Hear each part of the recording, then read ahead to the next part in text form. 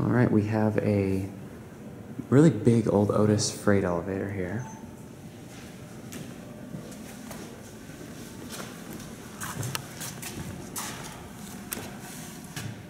And we have automatic outer doors, but manual inner door. So let's close it up.